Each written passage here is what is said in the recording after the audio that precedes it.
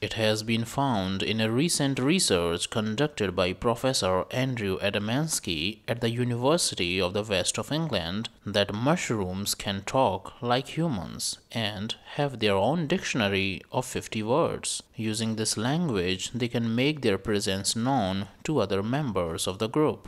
They pass the electrical impulses to the cluster members about the potential threats like weather conditions and can also share information necessary for their survival. This research was published in the journal Royal Society Open Science. Professor Andrew claims that mushrooms have both intelligence and consciousness. He reached to this conclusion after analyzing the patterns of electrical activity of four species of mushrooms enoki, split gill, ghost, and caterpillar fungus.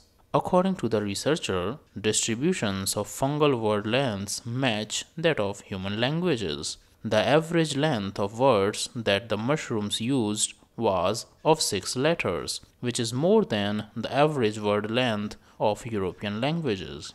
It was found that a species of mushrooms known as split gills that resides in rotting wood generated the most complex sentences in comparison to other three mushroom species.